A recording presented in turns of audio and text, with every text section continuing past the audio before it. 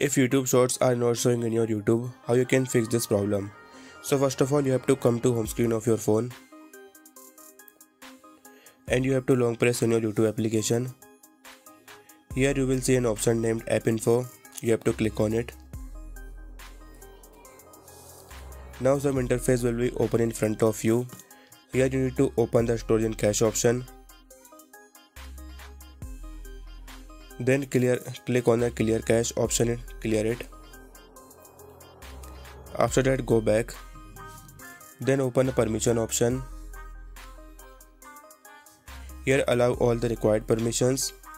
Once you done that go back again.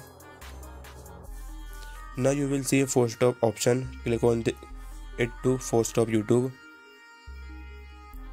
After that go back to phone home screen of your phone now open a Play Store or App Store, whichever you use.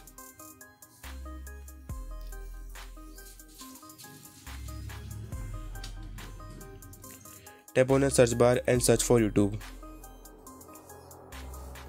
Here click here check if any, any update is available for YouTube.